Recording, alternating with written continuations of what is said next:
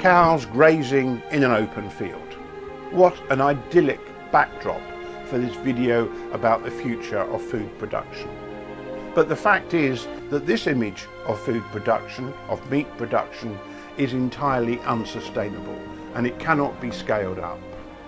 At present, we're 7.5 billion people on the planet, and by mid-century there will be over 10 billion people.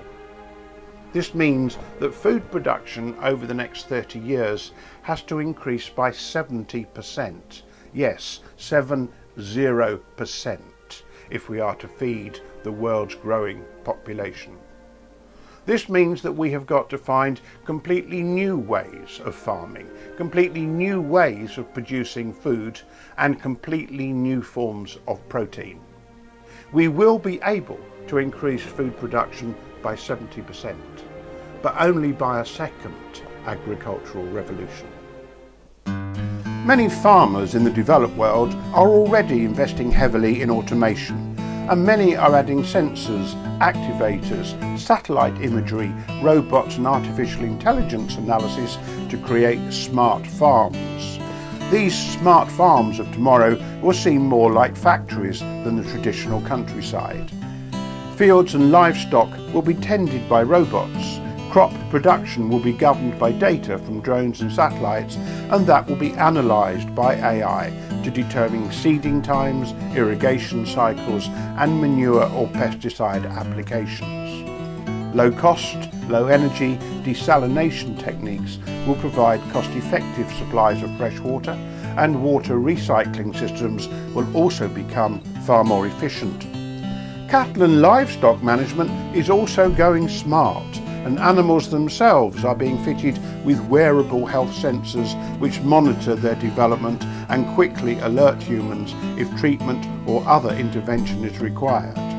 Many underground and vertical smart farms in urban spaces will also be needed to provide the additional biomass required for the growing world population and to provide food in close proximity to consumers. One of the most important things we will be doing in the second agricultural revolution is using CRISPR gene editing to improve plant types and yields. This is not genetically modifying crops in the old way that we've been doing for 30 years by mixing genes from different species together. This is actually going in and editing existing plant genomes. CRISPR gene editing is very precise and it will allow us to enhance the qualities of the crops we need. We will be able to increase resistance to disease and to enhance the methods and ways they grow under different conditions. We're also going to have to use different forms of protein, for example jellyfish and insects, but we'll need to package those and market them carefully to make them appealing. There is likely to be a multiple prong solution to meeting this greatly increased demand for meat and other protein. For example, developing meat substitutes from biomass from plants, or growing artificial meat on a large scale. We will also have to educate and nudge populations to eat more balanced diets with fewer meat components and we must provide food products based on new forms of protein such as insects and jellyfish. Finally, we may have to tax meat and fish produced from unsustainable sources. And there's going to be another revolution in aquaculture, in fish farming.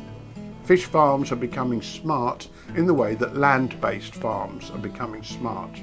And we're going to use CRISPR gene editing to improve fish genomes to enhance yield and to improve the health of the fish stock.